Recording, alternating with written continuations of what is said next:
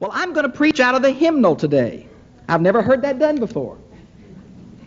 Before you get real nervous, it's the first century hymnal, not the Baptist hymnal I'm going to preach out of. I want to preach on a hymn of the early church. I'm not sure if Paul wrote it or if Paul quotes it, but it is a hymn in the Greek text. It's very lyrical, it's very beautiful.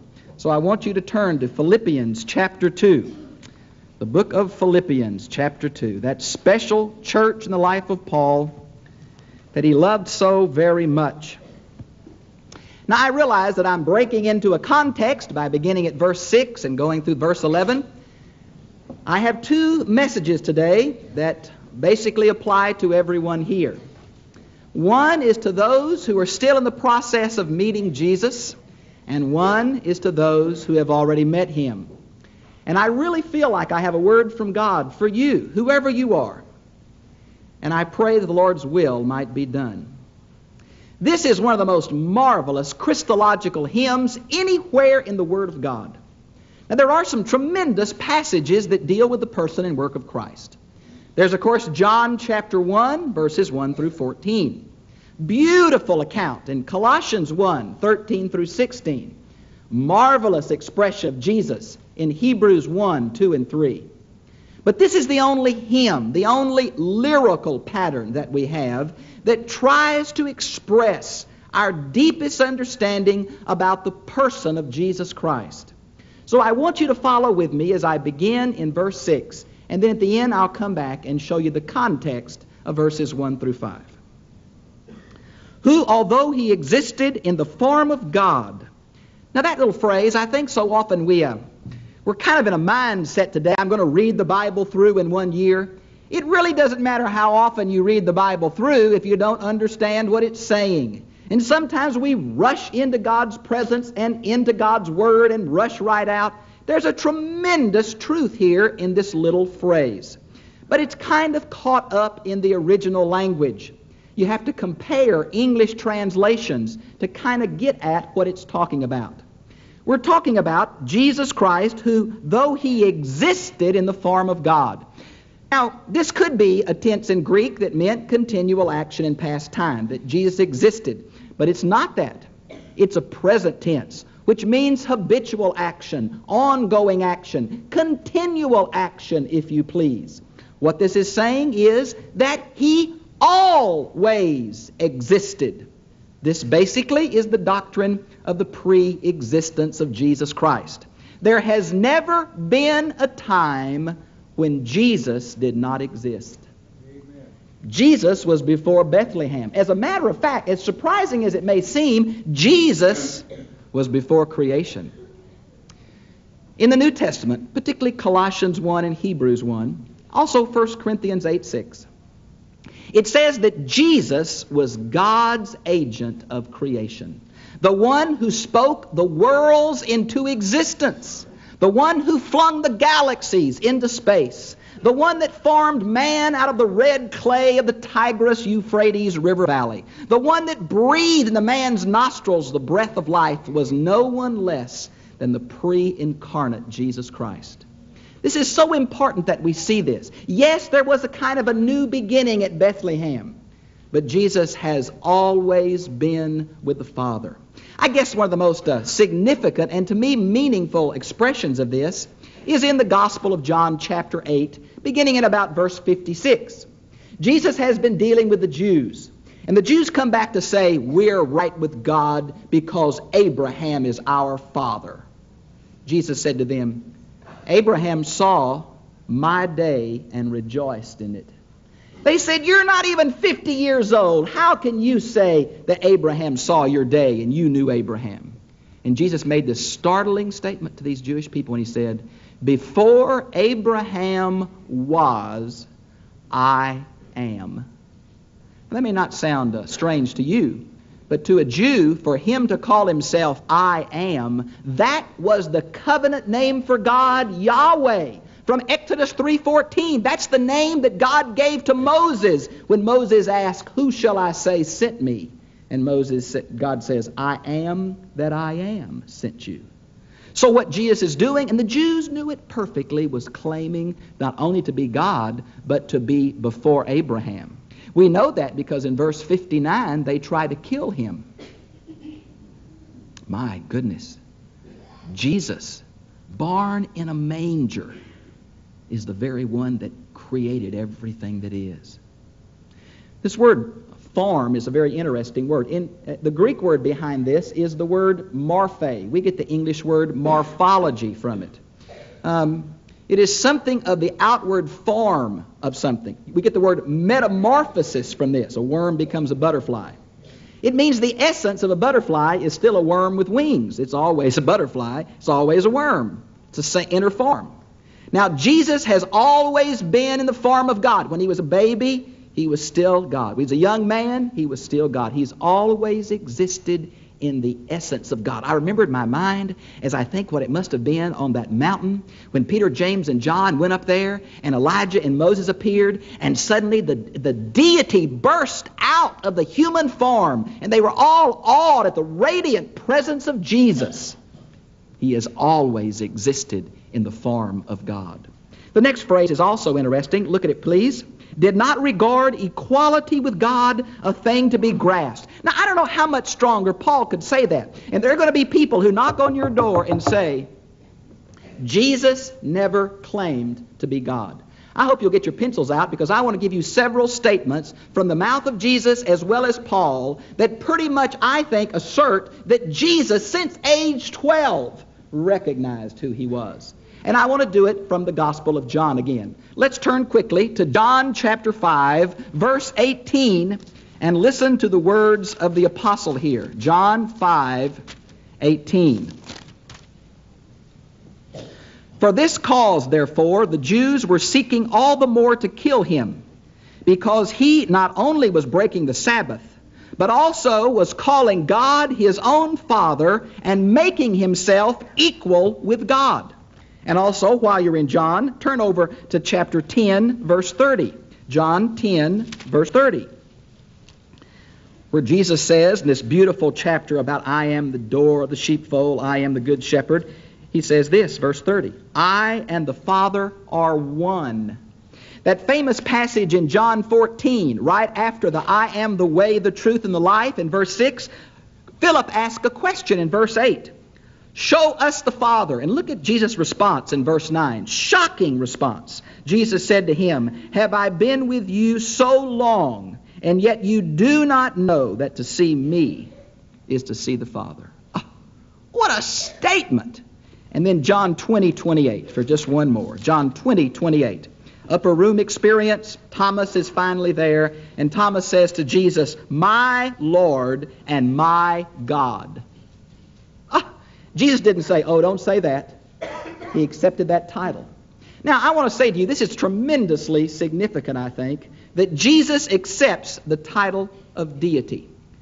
The affirmation that Jesus is God is not one the church has taken loosely through the centuries. It is surprising to me that the early church, a heresy developed, a heresy that said Jesus was God, but he wasn't really a man. In our day, it's exactly the opposite. Jesus Christ Superstar, Godspell, the recent movie The Last Temptations of Christ have all tried to affirm that Jesus is really a man. But modern man is nervous about Jesus being fully God. And yet I think it's absolutely crucial that we understand this peasant carpenter really is God in human form. He really is the image of the invisible God. Why is that so important to us? Well, number one, Jesus made some astonishing statements about himself. I and the Father are one. Uh, I am the only way to the Father. You see me is to see the Father. Oh my, how can someone say that?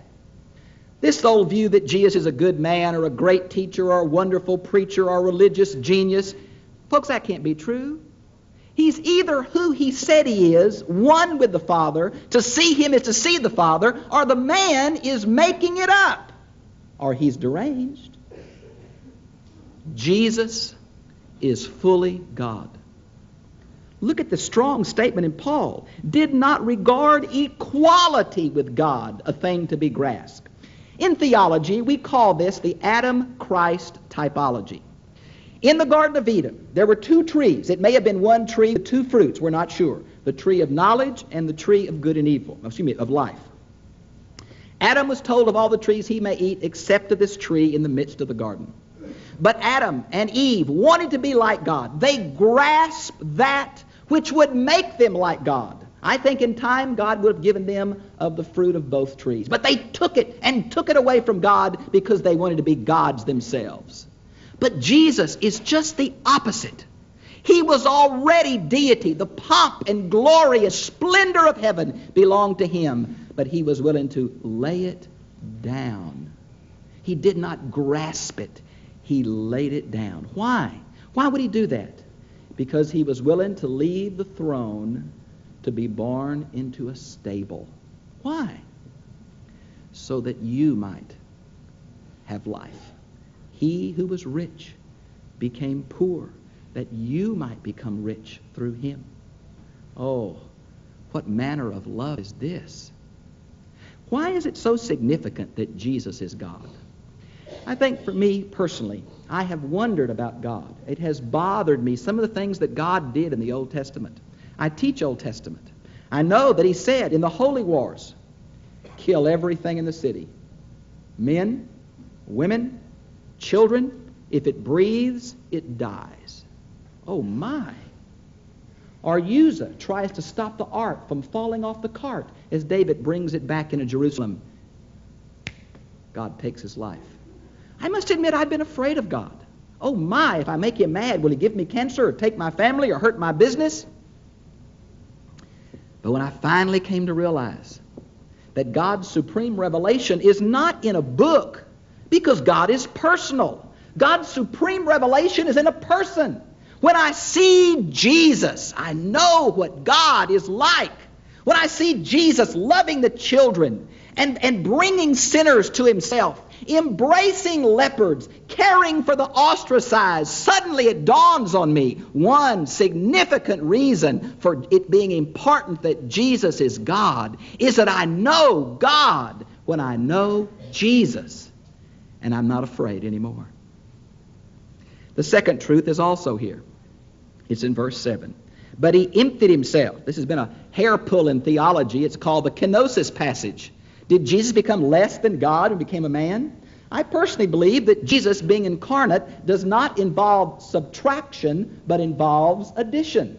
That he wasn't less than God, he was just also man. I don't think he left his deity in heaven. He seems to read minds and speak to storms and all kinds of things, but what he left was the glory and splendor of heaven. So really, he's God and man now. He emptied himself, being made in the likeness of men and being found in appearance as a man. Now, why, why not just say he was a man? Well, he is like us in every way except that he has never sinned. He ha- does not have the sin of Adam because of a virgin birth. He does not have the sin of yielding to temptation. He is the sinless one, the perfect one tempted in all ways as we are, yet without sin. That's why he's like a man. Well, what's important that, that God is also in Christ as a man? Well, I think that's so important that he really knows us. He understands. I was trying in a Bible study to try to impress on people that Jesus was really a man. It's kind of hard to do because we lift him up so much. So I thought of this, tried to think of this wonderful way to do it. So I said, I know what I'll do. I'll use an example from common life. J- did Jesus have to brush his teeth? Yes. And then, oh my, a person raised their hand and said, How did Jesus brush his teeth? I'm in big trouble now, right? Because in the ancient world, the way they used for toothbrushes was pig bristles. Would a good Jew use pig bristles? I ask you. so now I don't know if Jesus brushed his teeth or not. But then the ultimate theological question came to me. Could Jesus have had a cavity? Now think about it for a minute. Some would say, no, he's God. Could God have a cavity? But he was really a man. Oh, I think Jesus could have had a cavity. I'm sure his mother would have fussed at him about it, but I'm sure he could have had a cavity. He's really one of us. It's so hard for us to understand that. You mean all the things I do every day Jesus had to do? That's what I'm trying to say without being too crude. But I really want to get it over to you that Jesus is one of us. He knows us. What's important about that? It shows us what man can be. He, God incarnate was like us. He was one of us. Oh, amazing. It shows us what an example for us to follow. And by the way, Jesus' ministry is not over. The glorified Lord of heaven sits at God's right hand interceding for us because he knows us. Yes, he's fully God. Yes, he's fully man. And look what he did. He humbled himself by becoming obedient to the point of death, even the death on a cross. Would you turn with me in your Old Testaments to Deuteronomy 21 23? That's the book you haven't broke the silver thing on yet. it's the one where the gold is still all there. Deuteronomy 21 23, please. There's a little parenthesis in this verse, Deuteronomy 21 23, that says, my translation, Cursed is everyone who hangs on a tree. Now, originally, this referred back, of course, to the Old Testament setting of Moses' day. And then the most horrible thing you could do to a Jewish person was not kill them because they, they were killed in battle all the time. But the most horrible thing to a Jew was not to lose their physical life, but to be improperly buried, which they believed affect their afterlife. And so if you really wanted to shame somebody, really wanted to horrify somebody, really wanted to do the worst thing you could, is to have somebody not buried. And the way that was done was after they were dead, to publicly expose them by sticking them on a stake, letting the birds eat them or their flesh just fall off. Horrible to a Jew. Remember how the Philistines decapitated Saul and hung his body from the gate of the city? Oh, that was just horrible to a Jew. That's what this originally referred to. But by Jesus' day, the rabbis had interpreted this, Deuteronomy 21 23, as referring to Roman crucifixion. Now I want you to follow me for a minute. Most of my adult life, I've been told that the reason that the high priest and the Sanhedrin went to Pontius Pilate was because they did not have the right of capital punishment and they wanted Jesus killed, so they took Jesus to the Romans to have him killed. Well, that made sense to me until I started reading the rest of the Bible. And in Acts chapter 7, Stephen preaches his famous sermon in the temple. And the Greek speaking Jews got so mad, they drugged Stephen out of the temple and stoned him on the spot. And they didn't say, kiss my foot to any Roman either. Why not just drag Jesus out of the temple and stone him to death? The Romans couldn't stop it that quick. Because they wanted Jesus crucified, not just stoned. This is the way I think it must have gone in their minds. Here's one who claims to be equal with God, claims to be one with God, claims to be God's Messiah. If we can get him crucified, will mean he's cursed by God, and everybody will know that he can't be God's Messiah and be cursed by God too. That's why I think they took him to Rome, Roman justice. I think this is what bothered Paul about Jesus. How could the Messiah be cursed? But oh, friends, it finally dawned on Paul, so I hope it'll dawn on you this morning. Galatians 3:13 says, "He became the curse for us." What curse are we talking about? The Old Testament says, "Do and live." But God help us, none of us have ever been able to do. All of us, like sheep, have gone astray. Each have turned unto his own way. None of us have sought after God. We have all sinned and fall short of the glory of God. The wages of sin is death. Over our head of every human being was the curse of the Old Testament. If you know your Bible, Colossians chapter 2 says, He took that which was against us and nailed it to the cross. What was that? The Old Testament. And now we're a brand new covenant. You see, Jesus actually took our place. He who was without sin did not die for his own sin. He perfectly fulfilled the Mosaic law of his day. So when he died, he could die for our sin. I really believe when we look at, at the Gospel of Mark 14 and 15, we see that dark cloud coming about three hours into the crucifixion. I think that's really a symbol of God turning his face away from his son. Throughout his life, he had called God by the intimate term that a child calls his father at home Abba, Daddy, Papa. But on the cross, he does not call God that. He calls God Eloi, Eloi, my God, my God. Why have you forsaken me?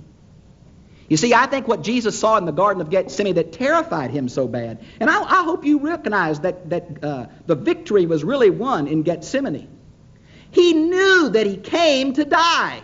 Mark 10 45. I did not come to be served, but to serve and to give my life a ransom for many. He knew he came to die. Why at this last minute would he want out of the deal? Because I think what Jesus had to go through on the cross, as the darkness is a symbol of God's turning his face away from his son, I think at that moment Jesus bore the sin of all the world, of every man and woman, of all ages. And Jesus experienced the last great experience of sinful man what it's like to be separated from God, what it's like to be lost. This separation, I think, is what terrified Jesus. If Jesus was terrified by what it means to be spiritually separate from God, we should take special note of that. Special note of that. I want to say to you that he was willing to go through Calvary that you might have life. Does it any wonder to you when people stand before God and say, Oh, I don't think I need that. That's a real nice way. We're so thankful your Christians have told us this, but I'm a pretty good person. It's all going to work out in the end. Everybody's going to get there. There's no problem. My good deeds will outweigh my bad deeds. Can you imagine what the Father who gave his only begotten Son must think when men say to him, No, thank you, I'll do it my way? God took him, Corinthians 5:21. God took him who knew no sin, made him to become sin that we might become the righteousness of God in him. Whosoever will call upon the Lord shall be saved. Oh, what a wonderful, wonderful gospel. Here it's finished at Calvary as he dies in our place. Ooh, if I had rhythm, I would be gone. Therefore, God has highly exalted him, given him a name that's above every name, that at the name of Jesus every knee shall bow, of those in heaven, of those on the earth, of those under the earth. Oh my, what are we talking about here? Friend, you do not have the choice if you'll confess Jesus. You only have the choice when you'll confess Jesus. You can confess him now and know the free forgiveness of sin. Know the peace that passes understanding. Know joy inexpressible. Have your name written in the Lamb's book of life. Have the indwelling Holy Spirit. Have a mansion prepared for you in heaven. Know He's coming back to receive you unto Himself. Or you can wait until that great day where all of conscious creation stands before the Lord, both angelic and human. And that day, every knee shall bow and every tongue shall confess that Jesus Christ is Lord to the glory of God the Father. What is the name that's been given to Jesus? It's the name Lord, which is the way of expressing the Old Testament covenant God, Lord. I want to tell you what. Christianity may not be true. If it's not true, you have nothing to worry about. God help me, what if it's true? It is an awesome thing to fall into the hands of an angry God. Do you know him? I'm not asking if, if you know about him. Do you know him? Do you, do you talk to him? Do you walk with him? Do you try to serve him? Oh, there's a message for you here if you've never trusted him by faith. There's a word here I think it's a word of promise and a word of warning. Do you know him? We're all going to confess him one day.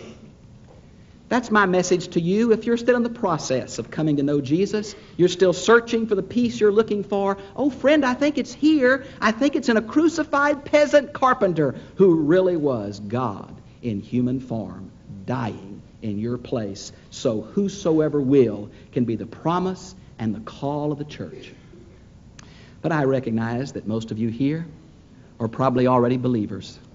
So I want to come back now to verses 1 through 5 and show you the context that Paul uses this hymn. For this hymn is really not used in the Bible for evangelistic purposes.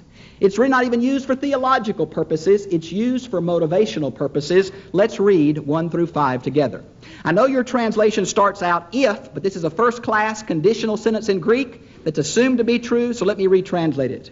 Since there is consolation in Christ, encouragement in Christ, since there is consolation of love, since there is fellowship of the Spirit, since there is affection and compassion, make my joy complete by being of the same mind, maintaining the same love, united in the Spirit, intent on one purpose, doing nothing from selfishness or empty conceit, but with humility of mind, let each of you regard one another as more important than himself. Do not merely look out for your own personal interest, but for the interest of others. Have this attitude in yourself, which was also in Christ Jesus, and we're off into the hymn. Now, what's the purpose of this? Paul says, as Jesus was willing, with the full glory and honor of heaven, to leave that to become a servant, he's calling on his people to leave their pride and privilege to leave their affluence, to leave their security, to leave their possessions. You say, You're telling us to get poor and just walk around? No, but I'm saying this. Most of you are trapped by the things you own. They really own you.